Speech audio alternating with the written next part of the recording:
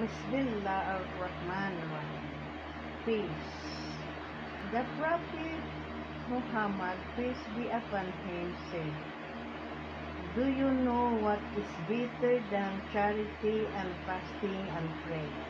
It is keeping peace and good relations between people as quarrel and bad feeling destroy mankind, Muslim. Assalamualaikum warahmatullahi wabarakatuh.